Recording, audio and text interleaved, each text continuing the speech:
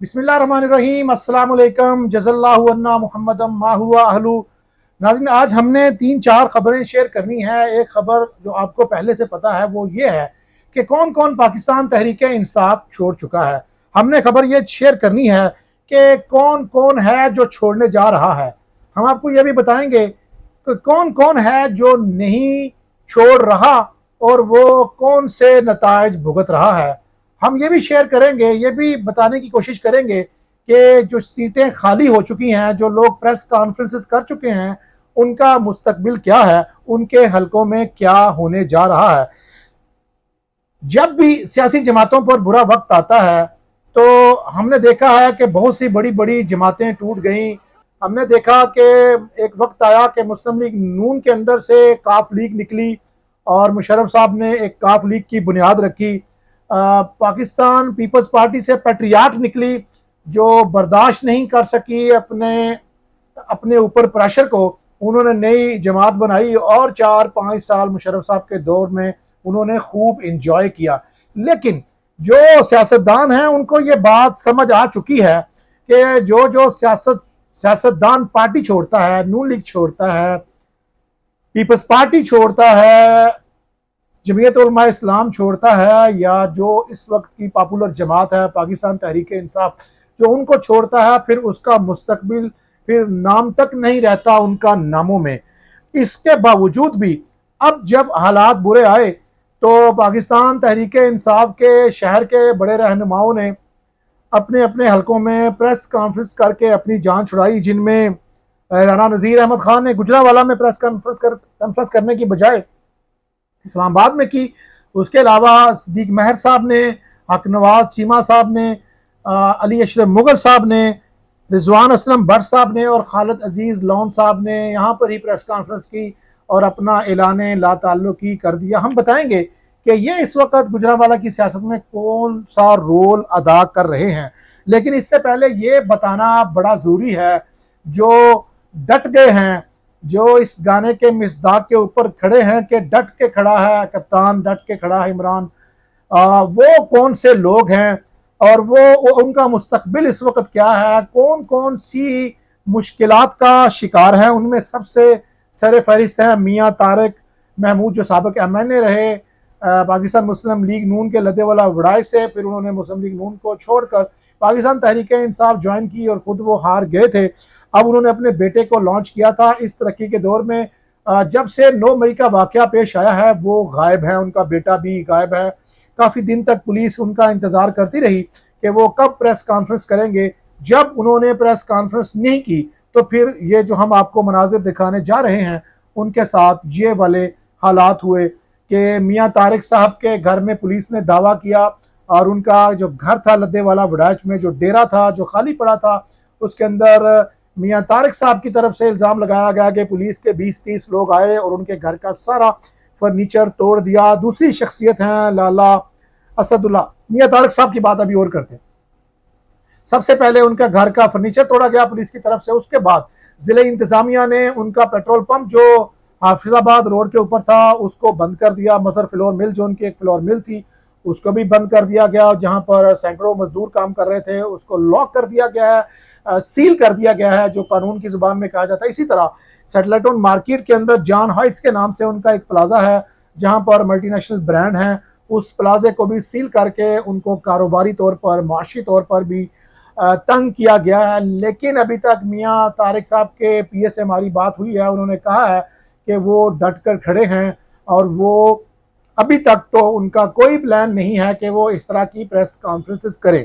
दूसरे हैं लाला असदुल्ला पापा उनके घर में भी रेड हुआ उनके कोई बड़ी फैक्ट्री इंडस्ट्री नहीं है।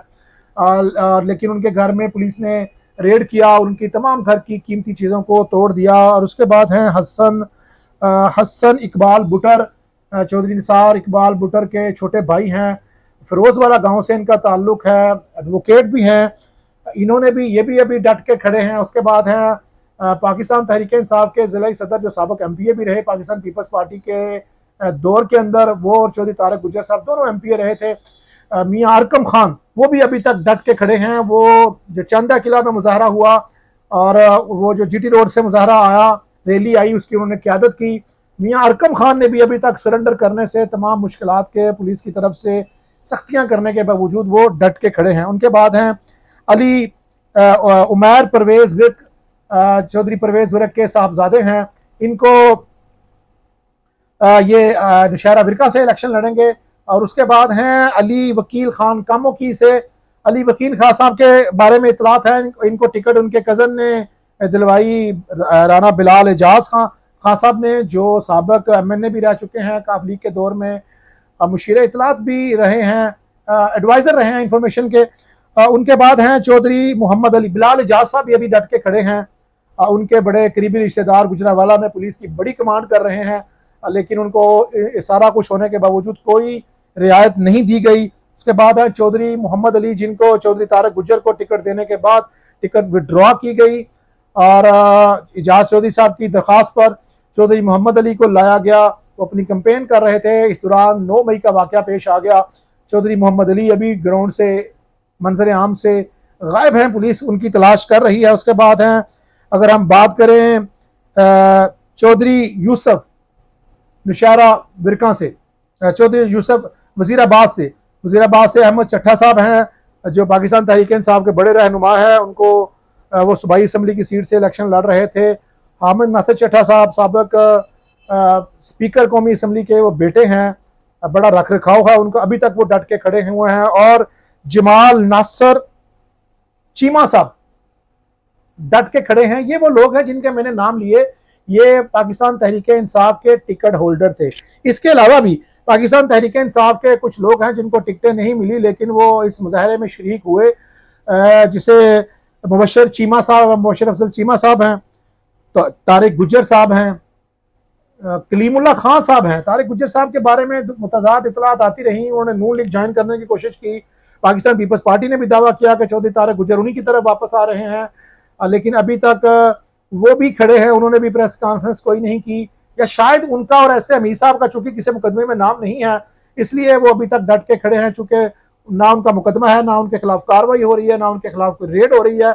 लेकिन ये पाकिस्तान तहरीक इंसाफ के वो लोग हैं जो अभी तक जिन्होंने प्रेस कॉन्फ्रेंसिस नहीं की। उसके बाद बाऊ इकराम हैं, रिजवान सयाह हैं कलीमुल्ला खान हैं। बाऊ इकराम और कलीमुल्ला खान मिलिट्री कोर्ट को भी मतलूब हैं। कैंट हमले में भी वो मुलवस हैं। अगर हम ये कहें कि वो डट के खड़े हैं उसकी बजाय ये है कि वो रूपोश हैं, मंजर आम से गायब हैं, छुप कर बैठे हैं, लेकिन पाकिस्तान तहरीक इंसाफ के साथ खड़े हैं। अब वो खड़े हैं या फिर उनको माफ़ी नहीं मिल रही रिजवान स्याह को, बाऊ इकराम को और कलीमुल्ला खान को ये कहना कबलस वक्त होगा, क्योंकि इनका दावा यह है कि ये पाकिस्तान तहरीक इंसाफ के साथ खड़े हैं। लेकिन क्यादत का ये कहना है कि ये छुप के बैठे हुए हैं, क्योंकि हालात इस वक्त इस कदर सख्त हैं कि ये उनका मुकाबला नहीं कर सकते। कलीमुल्ला खान साहब के घर में भी पुलिस ने रेड की थी, बाऊ इकराम की फैक्ट्री भी बंद है, बाऊ इकराम के घर में भी रेड हुआ। चूँकि बाऊ इकराम और कलीमुल्ला खान रिजवान सयान नामजद मुलजमान हैं, इसलिए इनके लिए यही है कि वो अभी तक रूपोश हैं। पाकिस्तान तहरीक इंसाफ के जो हमने बात की थी कि जो लोग, जिन लोगों ने पार्टी छोड़ दी है, वो क्या कर रहे हैं? अली अशरफ मुगल साहब, सदीक महर साहब, रिजवान असलम भर साहब और खालद अज़ीज़ लॉन साहब। राना नज़ीर खान तो बिल्कुल न्यूट्रल नज़र आते हैं, लेकिन खालद अज़ीज़ लॉन अपने लोगों से मिल रहे हैं, अपनी मुश्किल का बता रहे हैं। रिजवान असलम भट्ट भी अपने लोगों से, अपने चेयरमैन से, अपने हल्के के लोगों से, वर्करों से जा भी रहे हैं, बुला भी रहे हैं और उनसे मिलकर ये बात कर रहे हैं कि इस वक्त उनके पास लोगों, अगर इलेक्शन हो, अगर जैसा कि इतलात है, बारह अगस्त तक कौमी असम्बली को तहलील कर दिया जाएगा, फिर अनाउंसमेंट शुरू हो जाएगी तो वो अपने दोस्तों से कह रहे हैं कि अगर यहाँ पर पाकिस्तान तहरीक इंसाफ का कोई उम्मीदवार नहीं आ रहा तो उन्हीं को ऑप्शन के तौर पर लिया जाए, जो भी है, उनको टिकट इमरान खान ने दी है, वो इमरान खान के सिपाही हैं। अभी तक जिन लोगों ने पाकिस्तान तहरीक इंसाफ को छोड़ भी दिया है, वो भी इमरान खान का कार्ड इस्तेमाल कर रहे हैं, अगरचे वो न्यूट्रल हैं, वो आज़ाद लड़ना चाहते हैं, या कल कोई पार्टी बनती है। ज़्यादातर इनका, इनकी तरफ़ से इतलात और ऐलान यही हैं कि वो आज़ाद उम्मीदवार के तौर पर इलेक्शन लड़ेंगे। हम ये बात कर रहे थे कि कौन कौन से लोग जो हैं आने वाले दिनों में इलेक्शन आने वाले दिनों में प्रेस कॉन्फ्रेंस करने जा रहे हैं। हमारे पास चार लोगों के नाम हैं। हम, उनका नाम हमारे, हमें इदारों की तरफ़ से, पुलिस की तरफ़ से दीगर हमारे जो जराए हैं, वो बता रहे हैं कि इस आने वाले दिनों में जल्द ही चार मजीद टिकट होल्डर पाकिस्तान तहरीक इंसाफ से लाने ला ताल्लुकी कर देंगे, क्योंकि उनका मुआशी तौर पर, सियासी तौर पर, समाजी तौर पर नुकसान हो रहा है। वो सिर्फ़ सियासत की खातर इतना कारोबार का नुकसान नहीं कर सकते। हम चार लोगों के नाम मेरा चूँकि ये तरीकाकार है, जब तक वो लोग खुद ना तस्दीक करें, क्योंकि जो अभी तक डेढ़ महीने से डट के खड़े हैं उनके मैं नाम लेके उनका मुराल डाउन नहीं करना चाहता, वहाँ के पाकिस्तान तहरीक इंसाफ के लोगों को डीमोरलाइज नहीं करना चाहता और अखलाकी तौर पर भी बनता यही है कि जब तक वो खुद अपने अपने तर्जुमान के ज़रिए, अपने किसी मैसेंजर के ज़रिए जब तक ये कंफर्म नहीं करते, मैंने उन चारों को पैगाम पहुँचाया है।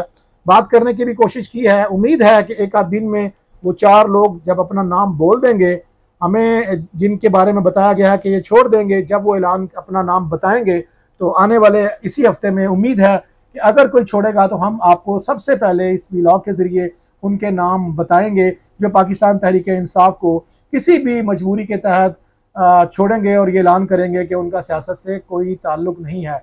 जो खाली हल्के हो गए हैं, जहाँ से पाकिस्तान तहरीक इंसाफ के लोगों ने इस्तीफ़े दिए हैं वहाँ पर इतलात ये हैं कि ख्याली के एक सबक चेयरमैन ने भी अप्लाई किया है। गुजरावाला में भी वो कला चुके समझते हैं कि वो डट के खड़े हो सकते हैं उनको तंग नहीं किया जा सकता क्योंकि उनके पीछे एक कम्युनिटी होती है। इसलिए उम्मीद की जा रही है कि इसी हफ़्ते में आ, आ, उनको अप्रूवल मिल जाएगी जमान पाक से।